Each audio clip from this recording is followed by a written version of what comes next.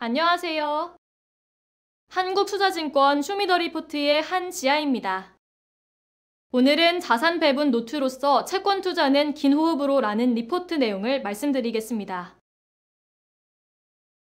5월 미국 CPI, PPI 등 금리 인하의 재료가 되는 중요 지표들의 발표가 이어졌습니다.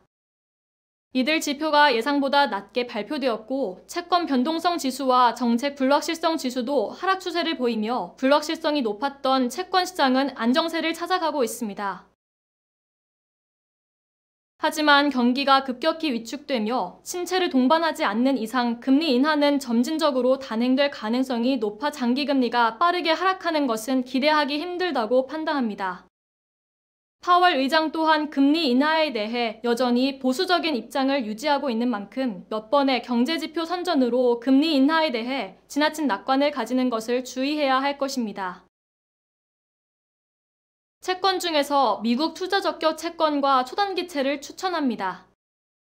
투자 적격 회사채 스프레드는 양호한 경제를 바탕으로 낮은 수준을 유지하면서 미국채 금리 상승에도 오히려 스프레드가 하락하면서 연초 대비 수익률이 국채 대비 우위를 보이고 있습니다.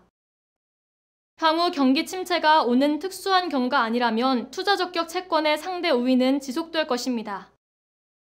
높아진 금리의 수혜를 볼 수 있는 초단기 채권에도 주목해야 합니다.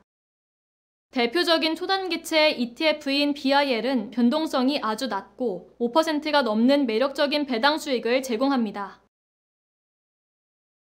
하반기도 위험 자산인 주식에 여전히 우호적인 환경입니다. 3분기까지는 주식의 비중을 점진적으로 확대하고 채권은 금리 인하 불확실성을 고려해 자본 차익보다는 이자 수익에 집중해야 합니다. 하지만 경기 사이클의 후반분에 가까워지는 4분기까지 주식 비중을 확대하는 것은 위험합니다. 4분기부터는 채권의 비중을 점차 늘려야 하며 주식과 채권의 상관관계도 금리 인하 이후로는 점진적으로 낮아질 것으로 예상되어 채권의 투자 매력도를 상승시킬 것입니다.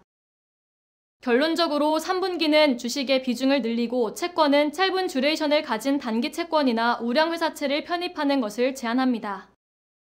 4분기부터는 점차 장기채를 매수하며 포트폴리오의 듀레이션을 늘리고 중립 수준까지 채권의 비중을 확대하는 것을 제안합니다. 오늘 준비한 내용은 여기까지입니다. 자세한 내용은 영상 설명란에 있는 보고서 링크를 확인하시기 바랍니다. 모두 즐거운 하루 되시기 바랍니다. 감사합니다.